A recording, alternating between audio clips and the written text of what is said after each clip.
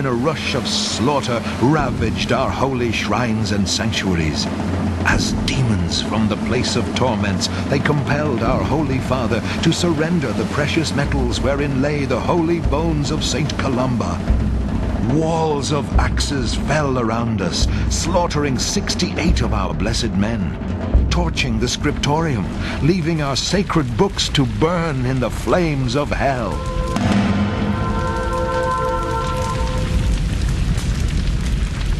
In 806, the monastery of Iona suffered its worst and most savage attack. The very next year, the annals record the building in Ireland of a new monastery of Columba at Kells.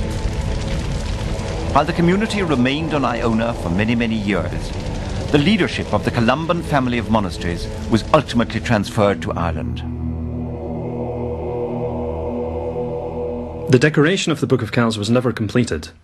Certain major pages were planned but not executed, while the decoration of other pages was left incomplete or altered. It is not known why this should have been. The most dramatic explanation involves a scenario of monks fleeing Iona in a curragh in fear of their lives, clutching their great unfinished Gospel book, while Vikings plundered and looted behind them.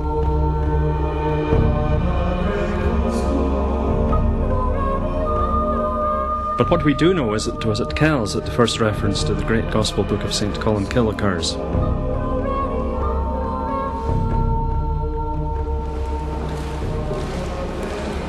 When did it come to Trinity? It came to Trinity sometime after 1661. At that stage, the monastery in Kells was falling into, into ruin and was actually threatened by the soldiers of Cromwell. And the Bishop of Meath, Henry Jones, thought it would be safer to bring it to Dublin. And it came to Trinity just after that. So Trinity College has been looking af- after it since uh, the late 17th century. Thanks to that great herd of philosophers, of travelling Irish men of learning who flocked to the mainland of Europe, many Irish Gospels and other books survive in libraries on the continent. The most remarkable collection is held in this beautiful monastic library of St. Gall in Switzerland, named after the saint who accompanied the mission of St. Columbanus. In the beginning of the 7th century, an Irish monk, probably from Bangor, arrived here. His name was Gallus. And he was on its way to Italy and decided to stay in the former wilderness of St. Gall and settled here. Around a hundred years later, his grave became a holy center, and more and more monks arrived here from Ireland.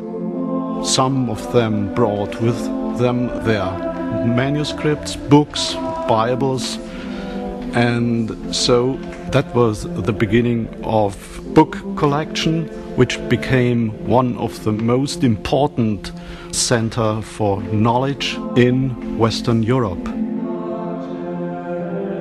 The earliest library catalog mentions Libri Scottice, that means Irish manuscripts written around 750, so they are indeed older than the Book of Kells, and they count among the most famous and most beautiful Irish manuscripts. Sometimes Irish scholars or Celtists who want to study Irish manuscripts have not to go to Trinity College but to St. Gallen in Switzerland.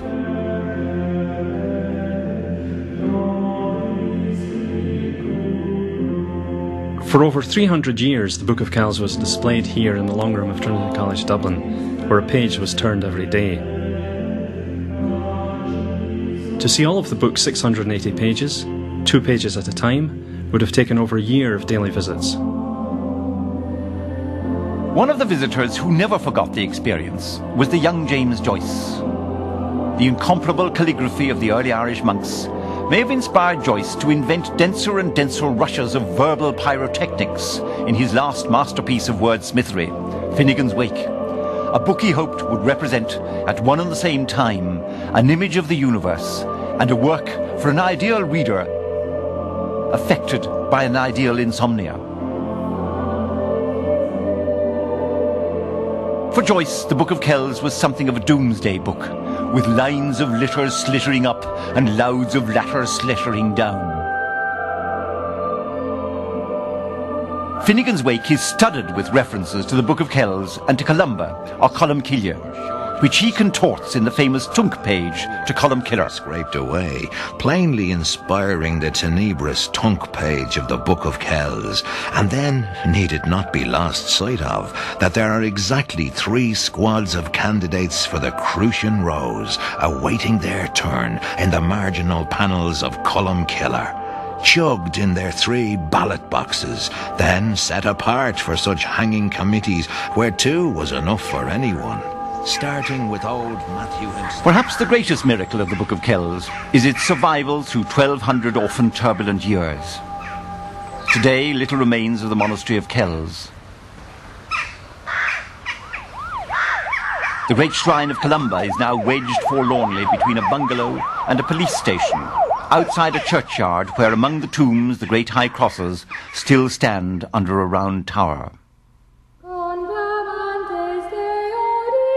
On Iona, the great Benedictine abbey which had replaced the modest monastery of Columba itself fell to ruins.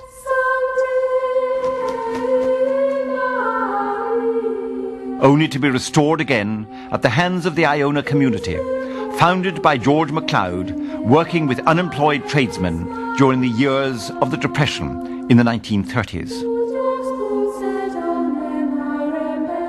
The spirit of the Iona community sought reconciliation between the churches.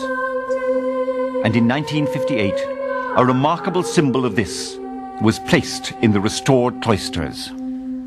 Here, at the spiritual center of this little island, where the first poem to the Virgin in the Western world was written, a sculpture was placed in her memory by the artist Jacques Lipchitz, calling his sculpture Between Heaven and Earth.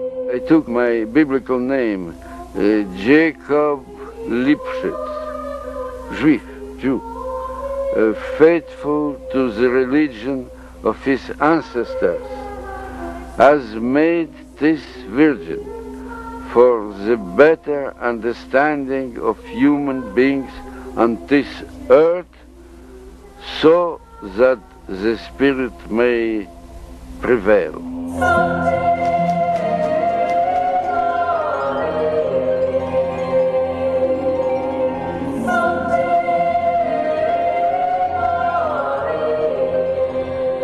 Columba climbed a small hill overlooking the monastery and stood on its summit for a little while saying, on this place, small and mean though it be, not only the kings of the Irish with their peoples, but also the rulers of barbarous and foreign nations with their subjects, will bestow great and especial honor. Also, a special reverence will be bestowed by saints even of other churches.